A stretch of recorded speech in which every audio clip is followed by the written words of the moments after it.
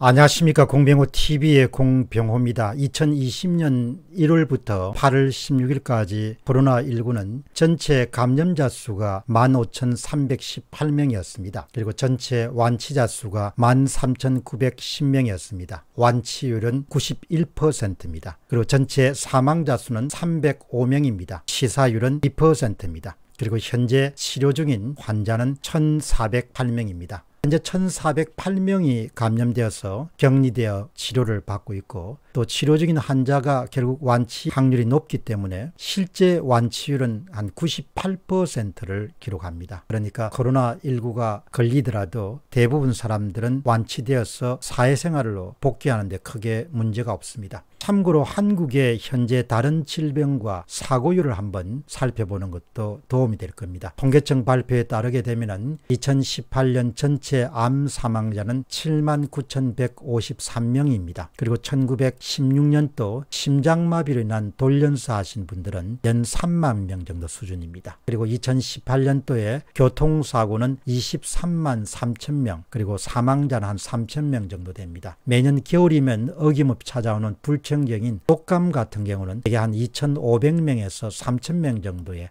사망자가 발생합니다. 코로나 감염자는 8개월 동안 1,408명이고 사망자는 305명이나 됩니다. 물론 사망자 305명을 두고 너무 많다라고 이야기하신 분도 계시지만 상대적으로 다른 질병들과 비교해 보면 아주 그렇게 큰 숫자나 우려할 만한 그런 숫자는 아니라는 점을 말씀을 드리겠습니다. 그런데 많은 국민들이 지금 이런 코로나19를 통해 가지고 국민들을 통제하고 관리하는 데 활용되고 있지 않는가 그런 의심을 제기하는 분들이 많기 때문에 그 부분을 오늘 다루보도록 그렇게 하겠습니다. 사실 코로나19의 사망자 수는 심장마비 돌연사의 한 100분의 1 정도의 그런 수준입니다. 그러나 문 대통령은 코로나19에 대해서 다른 생각과 판단을 갖고 있는 것처럼 보입니다. 급격히 추락한 지지율을 반등시키거나 자유우파 단체들의 집회를 아예 원천적으로 차단할 수 있는 기회로 삼으려고 하는 그런 의도가 있지 않는가라는 그런 의심을 하는 사람들이 꽤 주변에 많습니다. 그렇기 때문에 교회와 8.25 광복절 행사를 주도했던 단체들과 관계자들에 대해서 앞으로 대대적인 그런 탄압이라든지 구속과 같은 그런 일 들이 일어날 점을 우려하는 국민들이 의외로 많습니다. 이런 우려를 제가 수렴해 가지고 공병호 TV는 8월 16일 날 오후 7시 30분 무렵에 뭔가 꾸미고 있다. 문재인 반격 그런 주제로 방송을 내보냈습니다. 짧은 시간에 18만 명 정도가 시청을 하고 또 무려 1700명 가까운 분들이 8.25 광복절 집회 이후에 전개될 대대적인 그런 탄압을 걱정하고 있다는 그런 전망에 동조하고 있음을 확인할 수 있었습니다.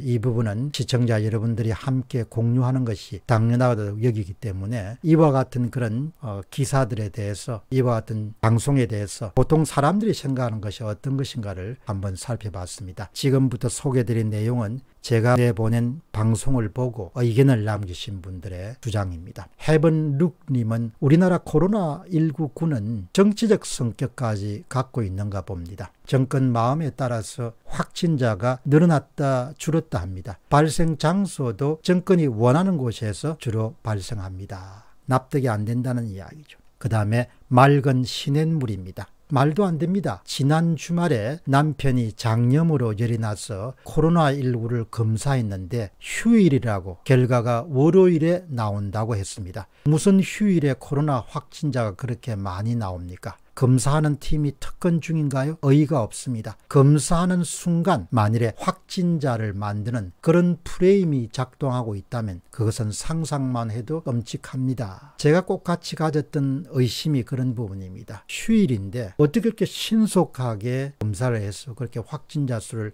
늘리는지 그것이 참 좀 이해하기 힘들었는데 꼭 같은 의심을 맑은 시냇물이 가졌구나는 점을 확인하게 됩니다. 다음은 선샤인님입니다. 아주 총체적으로 이야기하면은 국민들을 설득해서 정광훈 목사를 다시 구속하려고 긴밀히 조직적으로 움직이고 있다고 생각합니다. 이렇게 이야기를 정부 발표의 그 이면에 실린 뜻을 읽어내는 시민들이 의외로 많습니다. 그 다음에 이영수님입니다. 뉴스가 코로나를 앞세워서 교회를 탄압하는 그런 느낌을 갖게 됩니다. 뒤집어 씌우려고 마치 작전을 벌리는 듯한 느낌. 뭔지 모르게 작업을 추진하고 있다는 그런 느낌이 듭니다. 정말 무서운 세상이 되었습니다. 이렇게 또 이야기를 하신 분도 계십니다. 그 다음에 다섯 번째는 장미숙님입니다. 지금 하는 일은 주로 교회와 목사님을 제거하려고 하는 일처럼 보입니다. 공휴일은 코로나 결과가 나오지도 않는다고 큰 병원을 가도 그렇게 이야기를 합니다. 언론 시녀들과 쇼를 하고 있다는 생각이 듭니다. 국민들끼리 서로 싸우도록 만드는 겁니다. 국가가 하는 일이 참 수준 이하입니다. 이렇게 그러니까 나라 일을 하는 사람들은 국민을 아주 가볍게 보지만 국민을 훤히 저 사람들이 A를 하면 아 갑이구나 B를 하면 아 을이구나 이렇게 알아차리는 것이죠. 그 다음에 윤춘신 님입니다. 박원순 서울시장 장례식에 모이는 것이나 모임을 주최하는 관계자들을도 고발해야 됩니다. 만일에 8.25를 고발할 수가 있다면 그리고 지하철에서 콩나물처럼 거리 제한 없이 다니는 것도 고발 처리해야 됩니다. 사회적 거리 유지를 하지 않았기 때문에 계속 편파적으로 국민들을 구속하려 든다면 국민들이 어떻게 가만히 있겠습니까? 이런 또 주장을 펼칩니다. 그 다음에 여섯 번째 김숙님입니다. 자신을 반대하는 국민을 향한 대통령의 계획을 파악하고 우리 모두가 정신을 차려야 됩니다. 여론을 만들고 언론을 사용하고 질병을 이용해서 자신들의 반대편을 제거하는 그런 전략이라고 저는 이해합니다. 뻔히 보입니다. 저분들이 하는 일들이 참 저를 슬프게 합니다. 때로는 이 나라가 정말 싫어집니다. 사람들이 다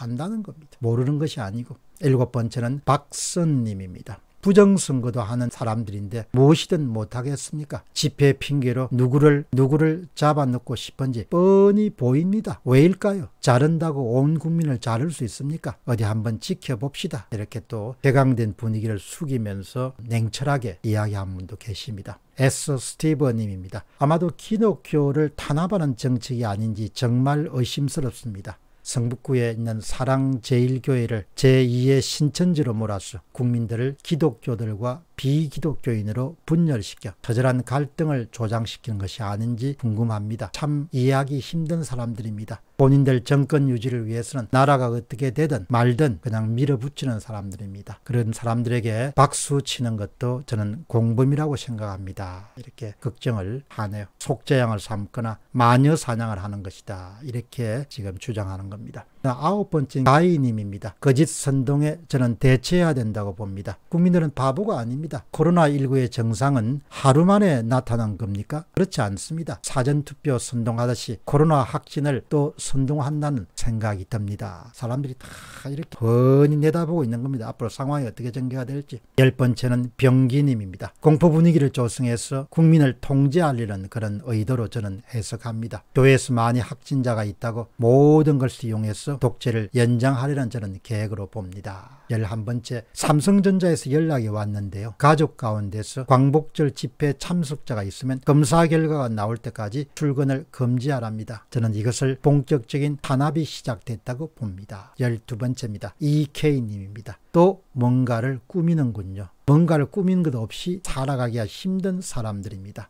늘 거짓말이 많고 선동이 많고 마지막에 그런 것이 다 통하지 않으면 또 뭔가를 만들어내는 것이죠. 선거를 만들어낸 사람들이 다른 걸 뭘 못 만들어내겠습니까? 이케이님은 좀 시니컬하게 말씀을 합니다. 그 다음에 열세 번째는 김화운 님입니다. 코로나 확진을 부풀려서 결국은 목회자를 구속하고 교회에 뒤집어 씌우려고 하는 것으로 밖에 보이지 않습니다. 마지막으로 닭의 목을 비틀어도 새벽은 옵니다. 누구누구를 구속해도 하나님은 살아계시고 하나님은 필히 징계하실 것입니다. 광고 하나 드리겠습니다. 진실을 널리 알리기 위해서 출범한 온라인 신문인 공데일리가 있습니다. 여러분 검색창에 공데일리 누르시고 들어오셔서 회원도 가입해 주시고 그리고 널리 알려주시기 바랍니다. 그리고 한국 상황을 널리 세계 알리기 위해 출범한 영어 방송인 GONG TV, 공TV도 여러분 관심을 가져주시기 바랍니다. 공병호 TV의 공병호였습니다. 감사합니다.